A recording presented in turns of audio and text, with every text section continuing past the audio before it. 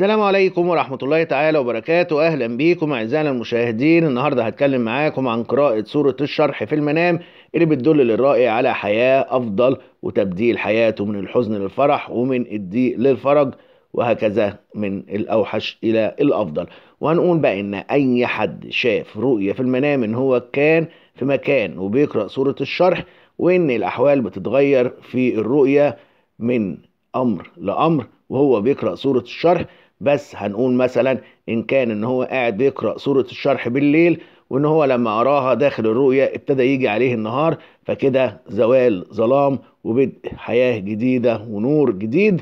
أما بقى إن كان الرائي بيقرأ سورة الشرح في الرؤية في المنام وكان مثلا بيشعر بالحر أو شدة الحرارة وإن هو أول ما بدأ يقرأ سورة الشرح ابتدى يتلطف الجو فبرضه الرؤية هتكون دلالة ليه على قرب حياة أفضل في الواقع. والله سبحانه وتعالى أدرى وأعلم.